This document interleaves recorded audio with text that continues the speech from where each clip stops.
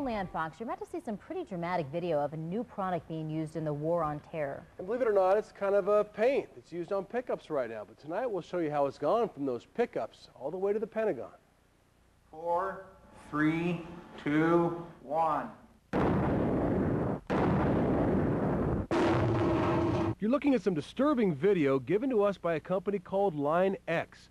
They're simulating what can happen to somebody, in this case a dummy, if a bomb went off near their office.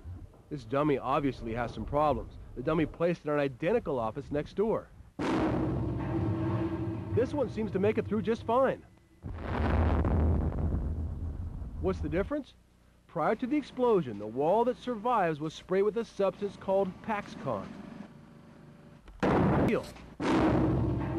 Yet it's also elastic so it can flex and take the brunt of an explosion. I know it works.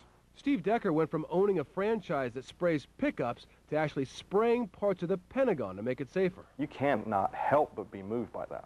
And to know that what we're doing now has the potential to save lives there, it's very, very important to me. The company makes no promise that the paint will hold a building together when something happens, but they do believe it can dramatically cut down on injuries and deaths. In a, in a, in a typical bomb blast, 80% of the casualty comes from fragmentation of the building.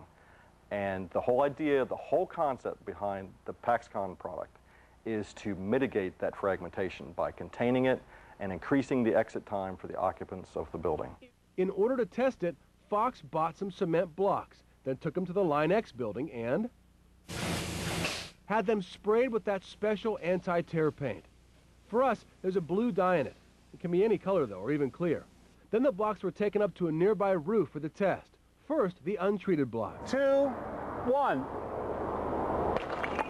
The untreated block dead on impact. Now the treated one. Two. Nothing happens.